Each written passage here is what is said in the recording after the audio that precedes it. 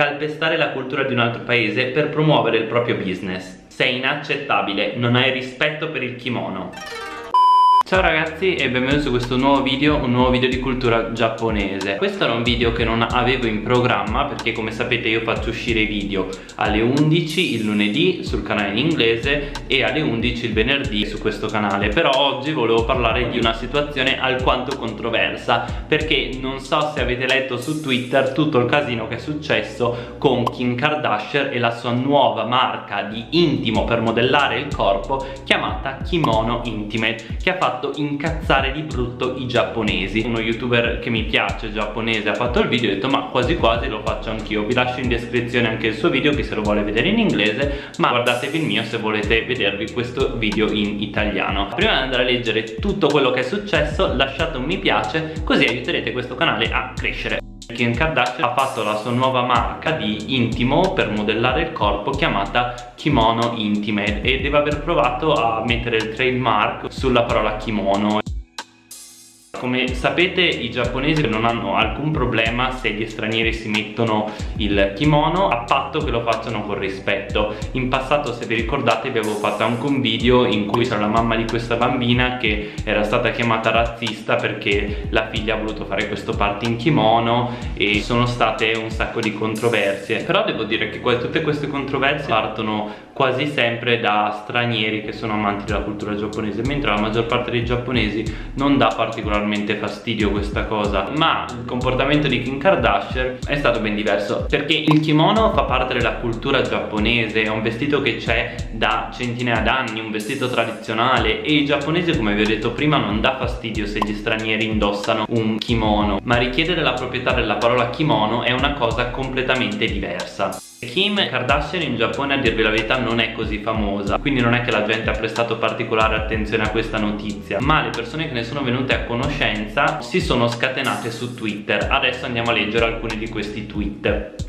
Sarei ok con gli stranieri che indossano il kimono, pure quelli che fanno la loro personale versione. Sarebbe ok anche se la loro versione fosse completamente diversa da quella giapponese. Ma questa cosa del kimono di Kim è oltraggiosa, mi fa piangere. Quindi capite che è una cosa abbastanza seria. Anche gli amici di a caso erano molto incazzati, devo dire. Leggiamo un altro. Sono turbato e molto triste. Non ha cambiato il nome, questo riferito a Kim, e non si è nemmeno interessata al fatto che molte persone le hanno chiesto di cambiare il nome nei commenti commenti. Non la perdonerò se continua ad ignorare.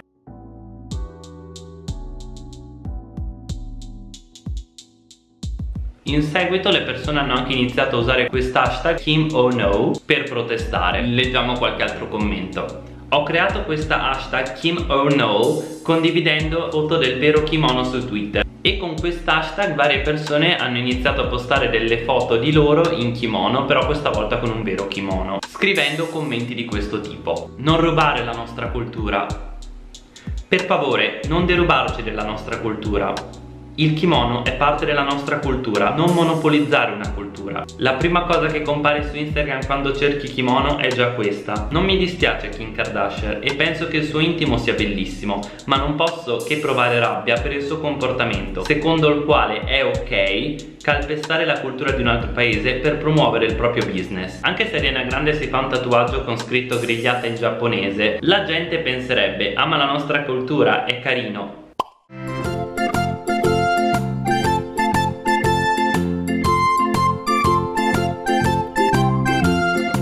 Kim, sei inaccettabile, non hai rispetto per il kimono. Non penso si tratti di appropriazione culturale quando gli stranieri si divertono a indossare il kimono, ma non voglio che Kim trademark qualcosa completamente diverso da un kimono. Altre persone hanno avuto anche delle reazioni diverse, le Kardashian hanno sempre fatto i soldi grazie alle controversie non penso che tutto ciò le danneggerà e poi è arrivato anche questo commento che allora, devo dire che voi probabilmente non capite il giapponese, molti di voi, quindi è un po' difficile da farvi arrivare il messaggio, però si vede proprio che c'è quel quella venatura di gli stranieri sono soliti a incazzarsi per queste cose, fare polemiche, fare ciociara, mentre noi giapponesi siamo superiori, quindi io questo tweet ve lo metto, però devo dire che mi ha fatto un po' tristezza leggerlo perché da straniero capisco che c'è una venatura di razzismo in questo tweet. Smettiamola di dire cose che gli occidentali dicono, dovremmo essere più tolleranti nei loro confronti. Puoi semplicemente dire che una cosa è strana e fine. In ogni caso, il 99% dei commenti riguardo a questa faccenda dei giapponesi sono stati tutti a sfavore di Kim Kardashian, quindi trovare questi due tweet che ne parlassero vagamente bene, oddio che poi proprio bene non ne parlano, però più che altro ti dicono focalizzati su altre cose, è stata già un'impresa per nulla semplice. Io sono dell'idea che Kim Kardashian in realtà già sapeva quando è andata a cercare di mettere il trademark sulla parola kimono che tutto ciò avrebbe generato controversia. Tuttavia per un personaggio come Kim probabilmente controversia uguale più profitto e più pubblicità per il suo marchio. È un po' triste pensare che Kim abbia sfruttato praticamente l'incazzamento dei giapponesi per fare il proprio interesse ma allo stesso tempo un personaggio come Kim Kardashian è stato creato grazie alla gente che la segue. Se nessuno la seguisse non sarebbe più famosa. Come lei che sfrutta questi scandali abbiamo anche molti esempi in Italia. Vedi anche la situazione di Marca Artagirone e Pamela Prati nulla di nuovo. Non lo so ragazzi a me tutta questa storia mi ha fatto un po' mm, arrabbiare perché sinceramente cioè non riesco a fare un paragone analogo con l'Italia. Abbiamo dei vestiti tipici però non siamo così legati e non li usiamo così tanto. Forse l'unico paragone che mi è venuto da poter fare è se che ne so in un'altra nazione qualcuno provasse a fare il trademark Che ne so la parola papa Però magari riferito a qualcosa che non c'entra niente con un papa Come una spogliarellista capite? So che questo non è proprio un esempio perfetto eh, di quello che vorrei trasmettervi ma spero che dopo aver sentito tutto questo video vi siete fatti la vostra idea e capite perché i giapponesi sono incazzati con Kim. Personalmente anche io trovo che sia un comportamento veramente schifoso.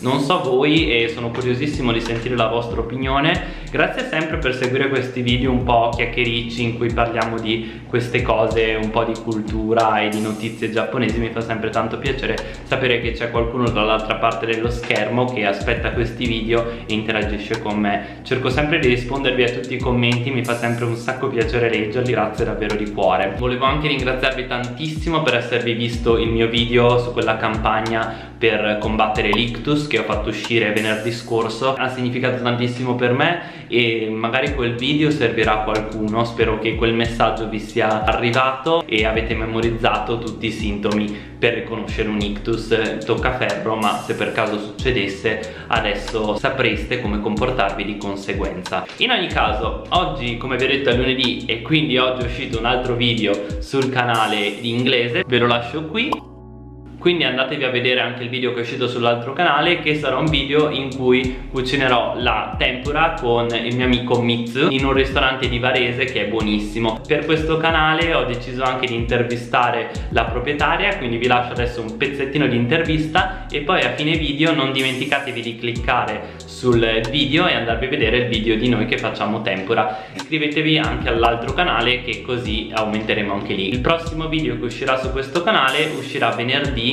alle 11 quindi mettetevi la sveglia che vi aspetto. Un abbraccione ciao! Ragazzi oggi siamo a Taiko Ramen e ci abbiamo qui proprio Taiko! Piacere! Piacere, sono Taiko. Ho aperto il nostro ristorante tre mesi fa. Tre mesi fa qui a Varese? Come mai proprio Varese? Eh, noi abbiamo un negozio di tè eh, a Varese. Abbiamo tanti tipi di tè giapponesi poi abbiamo deciso di aprire il ristorante e fare conoscere i nostri piatti tipici giapponesi. Noi offriamo buonissimo ramen, ramen molto popolare in Giappone. Come mai hai deciso di venire in Italia? Io ho studiato architettura e design in Giappone. Ok. Poi mi ha affascinato tanto l'Italia perché è un paese di arte. Cosa ti manca di più del Giappone?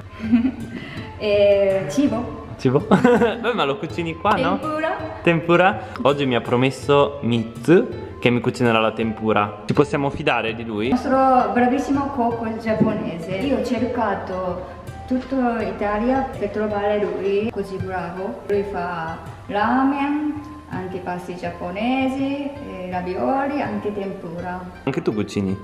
Sì, sì, sì, qualcosina, sì. ok, vabbè, grazie. Allora adesso proveremo a fare questo video in cui cucineremo la tempura e speriamo che ci diventerà benissimo. Grazie mille. Quindi se siete a Varese mi raccomando passate da Taiko Ramen a provarlo o nella sala da tè. Vi aspettiamo. Ciao. Ciao. Ok, vuoi salutare? Ciao.